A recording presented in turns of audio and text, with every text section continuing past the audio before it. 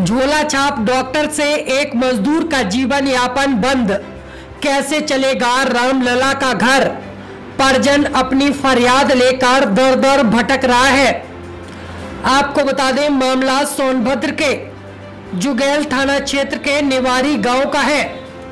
देखिए सोनभद्र से मनोज सिंह राणा की रिपोर्ट। लाले कहाँ के रहने वाले हैं? के। लाले क्या हुआ है आपके साथ? ये आपकी उंगली कैसे डॉक्टर ने दवा किया और दवा क्या कर दिया डॉक्टर? डॉक्टर दवा किया और नुकसान कर दिया। अच्छा दवा रिएक्शन कर गया? कब दवा कराए थे आप? करीब दवा कराया है मतलब बीस पच्चीस दिन तो ये सरकारी अस्पताल के डॉक्टर थे कि प्राइवेट नहीं प्राइवेट सरकारी में सब जवाब देते चले गए कि यहाँ नहीं दवा हो तू जो है अभी मत बोला। तो प्राइवेट डॉक्टर इलाज किया था हाँ। तब जाके ये दवा रिएक्शन किया? नहीं। हाँ।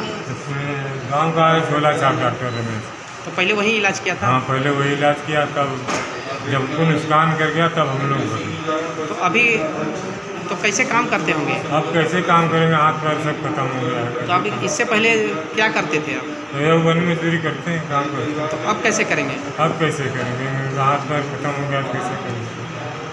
तो यहाँ डीएम साहब के यहाँ क्या करने के लिए आए? हम मिलने के लिए शिकायत दिखाने के लिए। अधिकारी जाने ही नहीं दे रहे हैं तो अधिकारी डीएम साहब से मिलने नहीं दे रहे हैं? इस पे उस डॉक्टर पे ऊपर क्या कार्रवाई करेंगे?